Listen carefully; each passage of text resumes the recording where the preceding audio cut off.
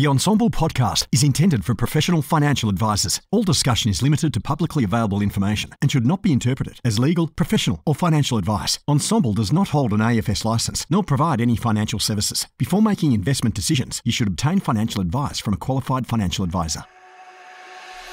Hello, my name's James Wrigley. I'm a financial advisor and one of the principals of Melbourne based financial planning firm First Financial. I've been a long term listener and contributor to the Ensombl group and podcast, picking up some amazing nuggets of gold over the years. And through this podcast and the people that I'm able to speak to and interview, hopefully I can continue to deliver some of those nuggets of gold to you. We have entered a new era of advice with a continuing advisor migration towards smaller and boutique licensees. This new era places a premium on professional development, sustainability, and efficiency. But many smaller practices are finding these goals increasingly out of reach as it becomes harder to access CPD in a way that is both affordable and makes efficient use of their time. The Ensombl All Licensee Professional Development Day was created to meet this challenge. Born from the thinking of the Ensombl Advisor community, it's a licensee agnostic, one day CPD event giving you access to 10 hours of CPD accredited content from leading industry experts. You can join this event virtually or join us in Sydney for the in studio experience. To register, head to ensombl.com forward slash ALPD. Welcome back to the podcast. I've got the pleasure of speaking with Rebecca Pritchard today from Rising Tide. Thank you for joining me. We're just saying you, you did another podcast yesterday, so you're, you're kind of in the zone of uh, reporting podcasts, recording podcasts. We stick at the sound of my voice at the end this week. uh, yeah, so the uh, yeah, you're on another podcast if anyone wants to go searching for that one too. Um, I just say before we before we press record, I've never actually spoken to anyone at Rising Tide. I no, I see you and, and, and the other guys have uh, a lot of stuff on socials and and and whatnot. Um, but tell us a bit about Rising Tide. Who you're working with, how you're working with them. Maybe let's start there. Yeah, look, Rising Tide is a fantastic business. And I think a lot of people think that we're sort of quite young and dynamic, but we're going on 20 years that the business has been around, which is, is quite impressive in, mm. in this market. And so it's it's gone through a few evolutions over the years, and and now is certainly a really holistic practice. Uh, the overwhelming majority of our clients are in their late twenties through to their mid forties, um, and we we work really holistically with a goals based approach. So we're looking at cash flow investments, insurance, and and wealth creation through super. But we also have a lending team in house, which is a really important part, as you would imagine, for those uh, younger clients. You know, mortgages are inevitably a part of their world, um, and so that's something that we really love, and we've worked really hard to build. A, a specialist debt philosophy that sits behind uh, our cash flow and our wealth creation philosophy to to tackle it in a really holistic way. Hmm. What like what is this? Can you elaborate a bit more on that? Like on the debt philosophy? I haven't had anyone like people talk about, oh, you get a good interest rate on your mortgage and then maybe leave, leave it there. Like you, what yeah, so it, it it's really looking at the structure of the, the debt and, you know, full disclosure, a mortgage specialist is not me. That's why we've got someone who plays that that role. But we are looking at actual debt structure, how it interacts with the cash flow, you know, where you would tackle things differently when it's an owner occupier versus an investment property. Uh, we're certainly looking above and beyond rate. And so, you know, we have actually in the last six months been moving some clients to a more expensive interest rate, but to a bank that allows the the ideal structure that we want in terms of, you know, whether it's the offsets, redraws, interest only components. So it is something we've really worked really hard and debated a lot internally to find a philosophy that worked. As I said, if you think about debt as part of cash flow, but then cash flow is interacting with wealth as well to to meet all those different client scenarios as well. Mm.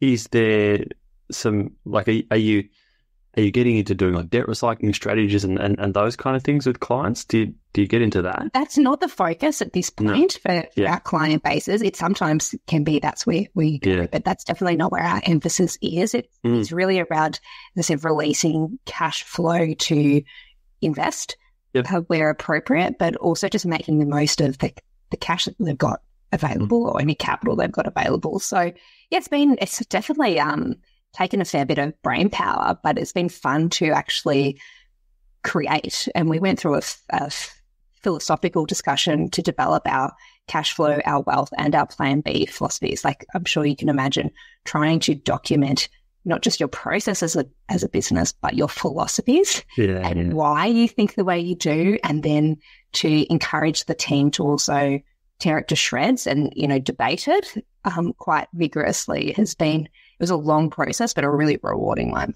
Mm. I suppose you you kind of need that for. It's good for the people that are already there, the the advisors and the team that are already there. But then if if you've got new people coming in and joining the business to say, look, we do things this way, and this is the reason why you've you've you've done that extra work. Uh, I would imagine it would make hiring someone and bringing them along the journey a bit easier. Well, with my guess.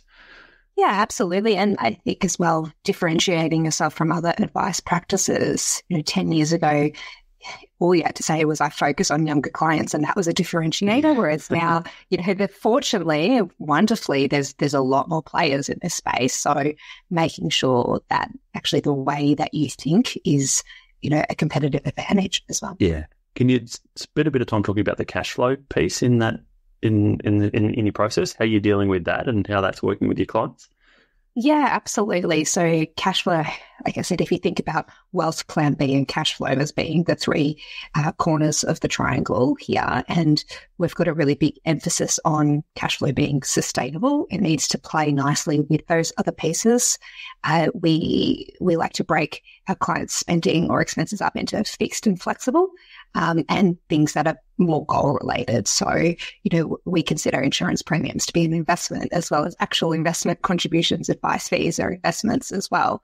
Um, and then you know, we've through going through this process with all of our client base, we now also have some really cool benchmarking data in terms of giving clients feedback of like, hey, you know, I know you think you can't survive without a $400 a week grocery shop, but that is actual garbage because, you know, we know that a family of four with children in primary school actually spends on average this.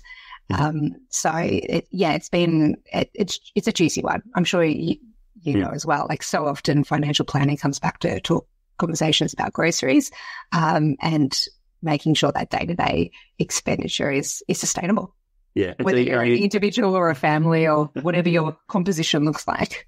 are you are you tracking that somehow? Like a lot of in, No. in the past, people were using like Xero, and then there's like MyProsperity or whatever. Like, are you tracking that somehow, client by client? How are you getting the data? Yeah, interestingly, we've gone full circle on that. So historically, you know, in a previous practice as well, like we did actually track and reconcile each month.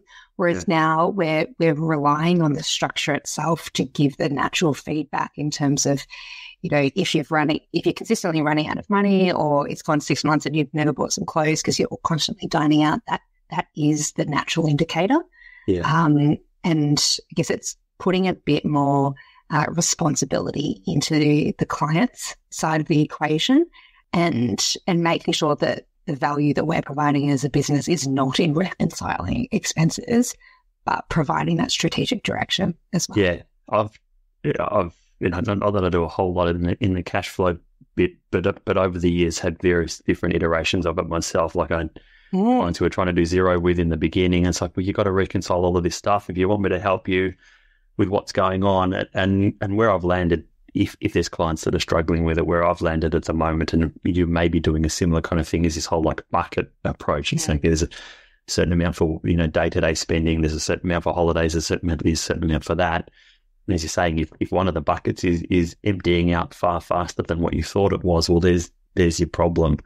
Uh, rather than reconciling every single cent on everything that's being spent, um, yeah, I don't do a whole lot in that space anymore. Yeah, and historically, you know, I'm yet to find a technology provider that is perfect Mhm. uh, and and consistent. You know, uh, you know, every day of the week. And so, I think historically as well, when the technology fails or is glitchy or just doesn't meet expectations, you know, it feels like the fault would lie with the advisor. And then it creates just a sense of tension between you and the client and the conversation that you ought to be having Mhm. is lost in lieu of having a conversation about, oh, can you refresh this feed or what was this? Or like, yeah, yeah, you're just putting the emphasis, I think, in the wrong place Yeah. in that regard. And and the wealth part of that triangle, can you, you talk about your approach to the wealth side of things? Yeah, absolutely. So we're fairly investment agnostic in terms of, you know, property or shares. We think that they're great for different reasons, for different circumstances, or terrible for different reasons and different mm. circumstances. Uh, so primarily we're working with clients to build wealth through um, either existing properties. You know, we're not going to necessarily recommend they go out and accumulate a portfolio. Um, and we do a lot of work with investment bonds as well as, of course, superannuation. Um, and and those pieces of the, the, the, puzzle tend to hit the, the nail on the head more often than not, um, yep. without needing to sort of put too much else into the mix. Yeah. Gotcha. And then the plan B that you're referring to is, is that your your version of insurance advice? That's what, you, what you're referring to. Yeah, insurance is a part of it. So yeah. we we did again work that Plan B philosophy to to think quite extensively about you know cash buffer health insurance, uh, having a more proactive conversation than we had in the past about estate planning, making sure there's no crappy debts in there, having conversations with the broader family about the family tree, uh, as well as, of course, the big, you know, the cornerstone of that is is going to be your personal insurances. Uh, but this, yeah, this is a really interesting space. I think a lot of advisors will be in this bucket where, you know, estate planning gets scoped out but you can still have a really meaningful conversation about it without giving advice. Or you can be working more closely with an estate planning specialist to um, embed and, and ensure it gets done. So, you know, something I'm really proud of in the last 12 to 24 months, the outcomes that we've had with our clients. You know, more clients have got wills than ever before because we're, we're just having better conversations with them rather than sort of shying away from it. Hmm often the you, know, you go to a PD day or something like that, and, and they're talking about you know, how do you grow your practice? You want to try and talk to the talk to your client's family. Like, have you? It, it sounds like you're you're, maybe going a little bit deeper on that estate planning and, and, and everything that surrounds it than a than a typical financial advisor is. Have you seen that that's led to then introductions to maybe mum or dad or the brother or sister or like is that actually happening for you? Yeah, it is. And it's, I, it's funny is not the right word, but it's it's interesting because we also we get a lot of the introductions to the parents and we refer them out. Like we yeah, work with parents, like that is not our wheelhouse. Yeah. Um, siblings definitely they're they're likely to be um, in our ideal client um, hitting zone. Uh, but you know certainly we love any time that our clients have been engaged enough to talk about with their parents and their parents are feeling inspired, but at the end of the day, we're not the people to help them. Yeah, I was going to ask, Kate, like, do you, do you have a hard cutoff somewhere? Like, how do you deal with the the age bracket that you're working with? Is there a hard cutoff somewhere? No, it, no. You know, there's a degree of spirit and circumstances in terms of uh, how somebody identifies, and and look, we do because I've been around for 20 years, we do have a few older clients that mm. you know, are legacy clients. But in terms of who we take on board these days, it, it is very much likely to be in that uh, mid to late 20s through to the, the mid 40s. Yep.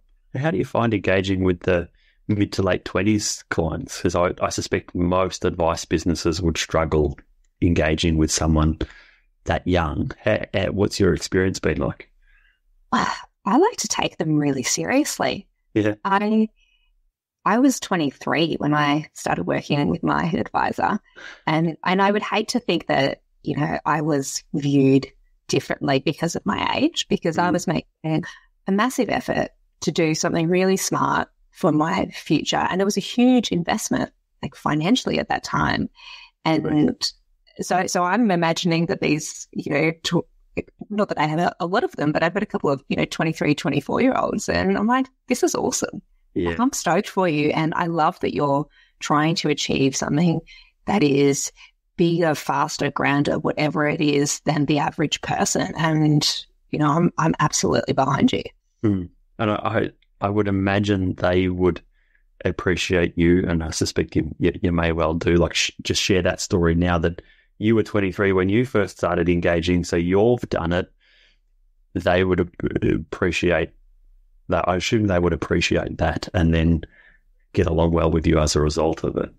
Yeah, yeah. Look, I understand that not every advisor has the capacity to share that story with their with their younger clients, but it's something I'm I am very proud of. It's something that you know facilitated for me a career change. It's led to complete, um, you know, it's not difference in the way I I think, but an enhancement in the way I think about money in all areas of my life. So, uh, you know, I'm I'm enormously grateful and I think for a lot of planners as well, like, oh my goodness, how easy would life be? All of our clients were 23 and you could get them started mm. from su- such a young age before they had terrible habits or, or big consumer debt or just, you know, you simply allowed compounding to do its thing for an extra yeah. decade. Like, my goodness, what, what a different Australia we would be if everyone was doing that. So you weren't even in financial advice back then. We were you working in financial advice when you were 23? Uh, I was in corporate finance, actually. Yeah, so, right, okay. Uh, yes, at the start of my professional services career, and um, I was I was interested in this space. I think I had, had always been interested in this space, and I knew yeah. I knew enough to be like, this is something clever, but not enough to do it myself. Um, and I and I also wanted an a fresh set of eyes my situation yeah. and and that of my then boyfriend, now husband. Um, so it was it was really lovely. And then and to be really frank as well, going through that process was a huge part of me falling in love with this profession and then mm. ultimately jumping the fence as well after I did some extra studies. Big credit to whoever the financial advisor was you're working with back then. Yep. Uh, Karen Batsalis, if you're listening, uh, thank you very much. and so uh, it was it was on LinkedIn in the last in the last couple of weeks to say that you're the the newest shareholder at, at, Rising Tide. Can you can you talk a little bit about that? How maybe that's that that's come about? As I said to you before we pressed record, there's always a lot of interest from younger people to saying, "I'm working in this business. How do I get to a point where I can own part of it, and, and, and what does it look like?" Can you maybe share a little bit about your story there? What have you comfortable sharing? Yeah, and for me, I'd been in a previous practice for about five years when um, I, I first met uh, Matt and, and Sam Jewell from Rising Tide. And, you know, we, we got on really well socially to start with. Um, Matt, I said, Matt and I had a baby. Like we were going through pregnancy at the same time. Obviously, it was a slightly different experience, but, um, you know, him and his partner were expecting, I was expecting. And, you know, we, we just got to know each other quite well. I made the decision I wanted to leave my former practice. And then Matt had always said, like, if you're ever going to leave, please make sure I'm the first person that you call. Um, and, and I did. And, you know, within a week, like we were all on the same page. Yeah. Um, and, and to this day, I, I think it was a massive credit to that team, uh, recruiting a heavily pregnant woman who um, was like, "Okay, thank you, um, but also be right back." Go yeah, I'm not. I'm not going to be here for a little while. yeah, yeah. So, and it was just great because you know they created a position for me and was like, "You can start whenever you're ready, um, coming back from this from this baby. Um, but it was from from the get go. It was certainly part of the expectation that you know once I'd found my feet and to a degree proved myself um, in the team um, and that the contribution I was bringing was what we all had agreed on. Um, mm. That this would be um, an opportunity uh, that would exist, and uh, you know, shortly after I started, I think it's four months after I started at Rising Tide, I was like, hey guys, I'm pregnant again. Um, uh, I'll go have this baby and then let's resume those conversations. So um, I was like, I know this seems chaotic, but I promise I'm just trying to get it done as fast as possible so that then we can get on with life. Um, the baby part done as fast as possible. Yeah, just yeah. So my kids are eighteen months apart. It was absolute chaos for a couple of years, but you know, it, then it's, it's, we're starting to move. We're out of the trenches, I think, largely yeah. now.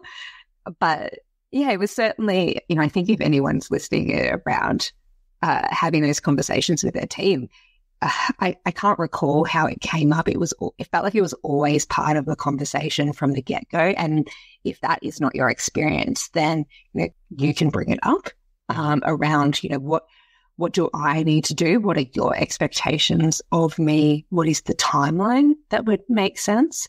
Um, and you know, there's always, you know, practicalities, whether, you know, the business is creating shares, you're buying off somebody, there has to be a revolving door somewhere. Business to business is probably going to look different. I, I think the, the the leadership team at Rising Tide have been really consistent and true to their word in terms of, you know, this is our expectation of you. You have met that, and therefore you get this opportunity now to to at least be part of the conversation. Um, then what you do with that opportunity is is up to you in terms of buying into the business. Yeah. Um, but but certainly, you know, it's it's really exciting and it's something that has been sort of five six years in the making. So I'm I'm thrilled that it's it's been finalised now. Yeah, good on you. Was your was yours buying from someone else? Buying like new shares issued? Like, would, would what would yeah? sorry. uh, so uh, I, I bought um, from from some of the other shareholders yep. who were reducing their shareholding, yep. um, and and I know as well that that's a real uh, strategic decisions for them. You know, it's a it's a fantastic business for them to relinquish some of their shares is is a big deal as well. Yeah. To you know, but they see that that trade off is well worth it to. Um, to bring me into the fold and to enhance that connection that that I have with Rising mm. Tide, um, it's actually been really beautiful. My favorite part of the last couple of weeks since the announcement is just um, my clients actually yeah. who, like they're stoked. They they yeah. love this. Um, they love to share in that personal success, and um, because it, you know, it's it's one of my goals. It's it's something that creates uh, financial opportunity for me and my family as well, and gives me yes moments as well as me being further connected to the business to create more yes moments for our clients as well. Mm, yeah, it, it's. I was having a conversation with uh, with one of the younger advisors in my team, and he, and just today kind of going on leave. His wife's about to give birth, and he was kind of umming and ahhing about how's he going to tell his clients. We're like, you, you've just got to send a send an email to your clients saying, "Hey, I'm going to be off for a few weeks. My wife's giving birth to our first child." Like that, together with you know the business ownership story of you, like they're they're those kind of nuggets of gold that your clients just want to share with you all the time. They want to be involved in that. Yeah, I was listening to your podcast with Laura a couple of weeks ago when she was sharing with her clients about getting married. Oh, yeah, yeah. Like yeah. so much joy in that. And, and look, particularly if you're taking time off to have your baby, it might be a good screening technique for any clients who are not thrilled about that. Like, might want to have a think about them when they come back on, uh, when you come back from leave. Yeah, yeah, and uh, like I guess I guess it's testament to the business to where you are, as you said. If if someone's someone's relinquishing some control, some ownership, some profit share that they're kind of yeah. selling to you, that's that's a big step for the person that's selling. But but obviously they they kind of see you as an integral part of the business, and it's this kind of mindset of we're bigger and better together than I can be on my own, and and so we want you to be we want you to be part of it. Yeah, yeah, absolutely. Like the, the sum is greater than the parts, or whatever that expression is. Yeah. So where to for you? Like, do you, do you have like do you have your vision board or something? Do you have your own like things you want to tick off for yourself? Like, what's next on on the cards for you? Yeah, well, at the moment, I'm I'm recruiting for an associate. So certainly, anybody who is listening, um, feel free to send me a message after this.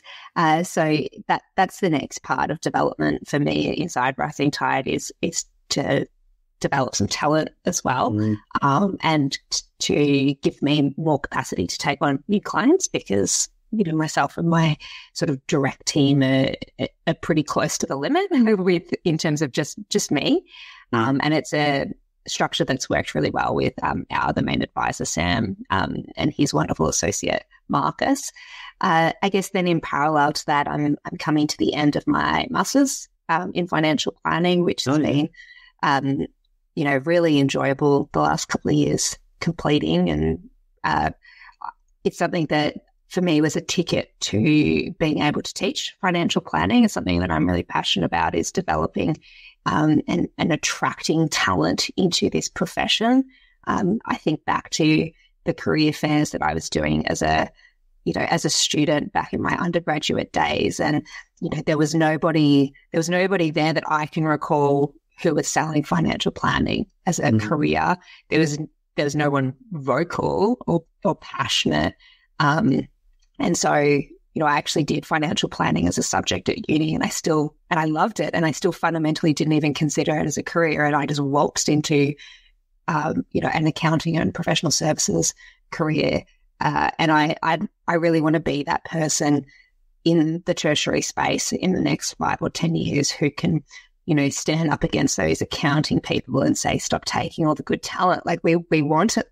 We want them here. We want them to know that this is an exciting and, and sexy career option. Mm. Um, you know, if you're doing commerce, you like money, you don't go into accounting or, or banking. Like there's this other option that has a lot of diversity uh, and, and richness available in it. Yeah. So it, That's a really long answer to your question. no, but but I'm interested. So you like you- you're doing the masters and you and you co- you commented on teaching there. Like, are you hoping to, as part of your broadening the attractiveness of going into financial advice, are you hoping to be teaching at the universities? Is that what you is that what? And, and look, and you say like vision board, like I, this is me manifesting. I've now said it out loud to enough people and probably on a couple of podcasts now. It's going to happen now. There's no way I can get out of it. um, but certainly, like that's my my vision board for my own life. In uh, you know, I've still got little kids. In in the next couple of years, they'll both be at school though, and so I'm entering another phase of life where I feel like professionally I will have more capacity, and I would really love to be, um, whether it's in three or five years' time, that I'm working perhaps even 50 50 in terms of a practicing advisor role and then a teaching role because I think there's enormous value in in having a foot in either camp. Mhm. And then exploring, I think my, my brain's a bit itchy at times, so it's it's kind of fun to have a new challenge. And um, maybe I've been watching too many um, American TV shows, but I also like the idea of being the um, the professor and then poaching all the good students into my organisation. I think that's Yeah, also you need quite to, attractive. I think you need to. Like, there's been a few, know, I've, I've, and you probably come across them in, in your travels too. That the ones that are teaching it, like RMIT and Deakin, and some of these unis where there, where there's the course, are practicing advisors. But but I kind of got the sense that they were reasonably small financial advice businesses, and they were like 75, 80 percent teaching staff and twenty percent financial advisor. I think you need to do it. Keep Rising Tide as a as a reasonably big size Yeah. business, so you can shovel the the good Yeah. talent in there. Yeah, and and you know, I think there's there's so much work to do in in this profession around you know the professional year, and everyone is still collectively trying to figure out um, how that works, and you know how we can uh, you know attract and develop talent. Um, but as I said, I think if you've got a couple of people who are you know deeply enthusiastic and possibly also quite annoyingly loud, which I probably can fit that bill quite well, is to, to, to put there. And because I think that's I think that's what we need. And you know potentially as well like unite when you don't have those big institutional players anymore who can be waving their flags. Um, you know smaller businesses probably have to think a bit more creatively about how they attract talent. Yeah, um, and yeah I just think it's a, a really interesting space but it's a really ex- like regulatory things aside, that there's there's just a lot of upside here Mm. if we can um, make sure that the talent pool is developed. we we quite successfully and haven't done it for years, but we quite successfully did like kind of like guest lectures. We I don't know. We somehow got into one of the universities. Well, I was our HR manager at the time. Who it was we. Guess some some of us went along and did guest lectures, and one of the courses you had to, as part of the financial planning course, they had to present Uh, they had to do a statement of advice on some case study and they'd get advisors in to be the client and present to. And so, I- so I ended up doing that a couple of times. And you'd kind of get to the end of it and you'd have this day of you half a dozen students presenting to you, but you'd write down who was the good one and then go up to the lecturer afterwards and like, please tell them to, to reach out to us. That was a good in with the universities, but you're potentially taking it a step further if you if you're going to do some teaching eventually. I the last couple of years or uh, marking, um, you know, exams and Ah, assignments. is? Yeah, yeah. the, the students, and it it has been deeply encouraging and inspiring of uh, of seeing what people are coming up with, and uh, it's as I said, it's been something like a bit of a passion project to to pursue. But yeah, it's each time I come across somebody and you know, like, this person's probably only twenty, um, and what a well rounded um, you know thought process or you know, if they've sent through a video submission of pretending that they're talking to the client, I, I think it's exciting. Yeah, yeah, yeah. You you touched on just before looking to hire an associate advisor. What, Yeah. what's the what's the kind of ins- internal structure that you're operating now? Like you know, from advisor and then some level of support. Like, what, what does that set up like? Yep. So we have a probably similar to some businesses, a, a pod structure in Yeah. terms of um, the individual advisor. Uh, Sam has associate a, a client service representative um, or two working alongside um, in those sort of mini business units. Mm. Um, and so you know, I, I have my wonderful CSR Lester. He's my left hand man. You know, we're just um, constantly in communication and developing our, our client book and our, our little mini business. So Hmm. uh, for us, we're, uh, we're looking to go back to what say, go back to the draft and, and get someone young. Um, we are you know, incredibly fortunate with uh, recruiting Marcus last year, who's a mature age recruit. Uh, he's a career changer. He's coming from um, the investments world. He used to work in Okay. a family office. So he is absolutely a rare bird and, and probably faster than balanced the team energy and experience to, to have someone more junior, um, which may be, you know, even in their first or second year of uni or um, perhaps starting to go through the, the PY um, program. So we're pretty open minded. It's really about finding the right uh, the right energy, the right personality. Um, you know, we're pretty big on like your disc profiling and and really those ideal um, characteristics of what we want that person in the role to to have. Um, we're confident in our ability to train for skills, but yeah, it's a, it's an interesting process, and particularly you know you always feel like there's there's not enough hours in the week, but a valuable one to commit the time to to get the right person as well. Yeah, that you, you're you're talking about that hiring process at, at kind of a higher level than what I typically hear other people talking about, like doing the disc thing and all the rest of it. You're hiring for those those things that you can't teach someone, and Mhm. the bits that you can teach them, well, that just come that just comes later.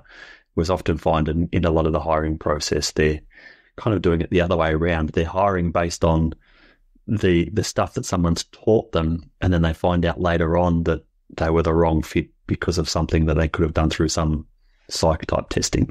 Yeah. Yeah, it's certainly a slower process, but we're Mm. hoping to lead to a more sustainable outcome in the end. Yep. Now, last thing that I wanted to have a, a chat about, you're so you're at Wealth Enhancers a while back. I, know, at least to my mind, they were you know that business and, and that you were part of was probably the first that was trying to deal with younger clients, as you as you commented earlier earlier in the podcast. Like you know, you 10, 15 years ago, if you said you worked with with young clients, you were you were kind of a bit of an outlier there.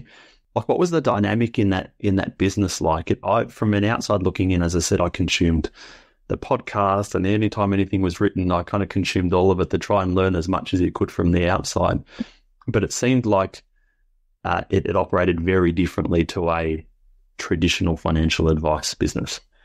Yeah, and interestingly, you know, I've spent a lot of time reflecting on, on the business over the years. I, I think it actually was just before its time, um, because a lot of the things that were really dynamic or like game changers back then are like really commonplace Yeah, now. Um, you know, one of the biggest things I took out of that um, five years in, in that practice was it, it set me up really well for COVID because we're already, you know, used to working remotely and Ah, yeah. had a, uh, you know, used to having a, a footprint across Australia. Um, and uh, yeah, the confidence, the process, the you know, the method to to engage with clients digitally. Uh, but yeah, I mean, the great irony now is that those the clients, the millennial client base, like we're we're what mid thirties, um, through to like uh, late forties now. Like we're not actually that that young no, um, anymore. But you know, I think back then certainly uh, investing a lot in financial well-being content. You know, I love, I love one that there's so many practices that play in this space now.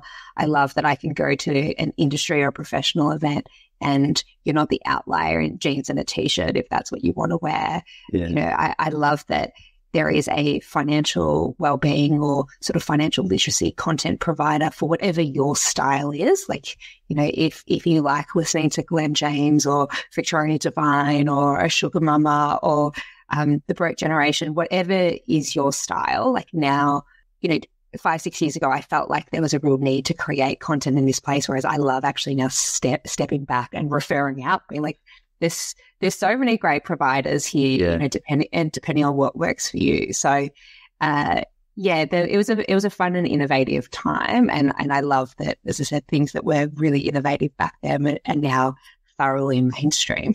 Yeah, I hadn't thought of it that way. You, you're right in that that you comment there about maybe being a, a business just before its time, whereas it it would be very commonplace for that type of business and those types of clients to be to be working with them now, but but it wasn't such back then. With the like you comment about the the millennials being you know kind of 30, 40 year olds now. The aging Yeah. millennials. do you think rising do you think Rising Tide will age up with the We will. That's well? that's absolutely our intention. So Yeah. you know, we're we're not pegged to this age range. It's we're we're pegged to these people, and we will all age together. Um, Yeah. even for myself, five years ago, I had a real gen- genuine interest. I spent so much time talking about like pregnancies and conception and, you know, the early baby days. And um, I still absolutely love to talk about that. But now also as my own life has evolved, um, I'm loving talking about school. Yeah. Um, and, you know, in, in the next five or 10 years, if I'm talking about menopause and, and divorces and deaths, and, you know, that's, that is part of the fun of it and something that I really enjoy and has always been um, one of my main attractions to, to this as a, um, you know, a way to earn a living as well Mhm. is because like that's what I'm doing. That's where I'm up to in life. And I, I learn a lot of my clients. Mm. Um, and particularly those who are like a few years ahead of me in, in, in life. But um, I think it also brings a, a natural passion if um, if you can be in it yourself. Yeah. I was joking my husband the only thing left to do is get a divorce, um, and that he better better watch out. But um, So on the on the top, like yeah, I was talking to a, I got a comment about the divorce. I'll get to in a second, but the um kind of that age bracket and, and, and, and aging up. I was having a conversation with one of the younger advisors in in in my team the other day about you kind of like in our business you have this bread and butter is like the retiree type client, but you're also particular as a younger advisor. You're going to attract clients that are a little bit older than you and a little bit younger than you, and that and as you get older, they're also going to get older too. Uh, and and it seems like you know, from what I know of the, your Rising Tide, you're all kind of in that age bracket Mhm. anyway. And so as you get older and you're experiencing different things in your life, kids getting older and primary school and high school and so forth, if you're sharing that online as you do, um, you're going to be attracting those types of clients that are going through that same journey as you, uh, regardless of your age. There's always going to be those things they're going through.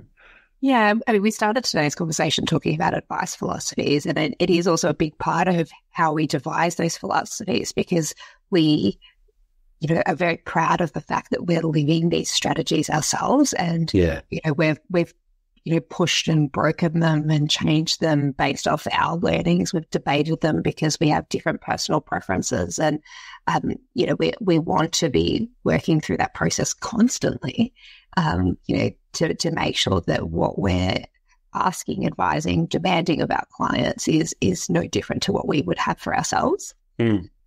The comment on the divorce part. I don't think my kids may be a little older than you. My my eldest is in grade five, but just in this last year, it's like you see the stats about how many people end up getting divorced. Like we're getting towards the end of high, end of primary school for my for my eldest, and there's so many parents at the school like starting to get divorced. There was none of it, and it's just it's just in this last eighteen months, it's starting to it's starting to go through the school. Absolutely. And it's an area like professionally that I've developed a real keen interest in. Mm. So, you know, a, a solid third of my new clients now are divorced women. Mm. So it's it's something that you know, I've been able to develop a, a real skill set and, and passion for um, in terms of, you know, I have to describe it as the pissed off woman because, you know, she is, you know, she's she's educated, she's frustrated, she feels like she's stalled. Um, she you know, wanted to get financial advice six years ago, but her husband wasn't interested. She's now feeling really passionate that she's like, right, all the balls are in my court. I'm in charge of this. And it's it's been incredibly rewarding to just work with. It feels like there's all this the wave of them coming. Probably they all go to school with your kids, but um, you know, like we we love having that, developing that expertise as well. Um, if there's any planners out there who who like to work with um the, the husbands that have been divorced, please let me know. So we've got someone to refer out to. Uh, but it's yeah, it's been a fascinating area, and uh, I think some some stats from Bernard Salt, like the demographer, it's like peak divorce age for women is 46. Mm-hmm. So, you know, we're, we're heading into that, that hitting zone. Yeah. Um, my husband definitely better watch out. Um, but yeah, it's, it's, look, I think it's something we're, we're certainly going to see more of. You, you, commented on like divorced women, and I think like we, we have a lot of um, divorced single females as, as well as clients. Do, do you think there's, I just kind of have a just through working it, there seems to be more divorced single females reach out for financial advice than males. Do you have a sense of that? Like you commented about referring out male, like the divorced male. I can't recall the last time that I had a conversation with the divorced male. Like there's plenty of the, the divorced female, but not the divorced male. Yeah, it's interesting. Like I literally just got my first one uh, last week or early yeah. this week. So yeah. you know, it's it's hard to know if that is you know an accurate sample size or just simply the way it's worked out. Mm. Um, but but we're certainly very vocal. As I said, I um, I I want to work with those women. Yeah. Um, and you know, I think we we have a lot that we can we can offer them. But yeah, and likewise, I, I would love to hear a practice who goes like, no, actually, we only want the men. this is great. Like, uh, you know, I think that there's a lot to be said for that kind of specialization or, yeah. you know, clarity in your ideal client.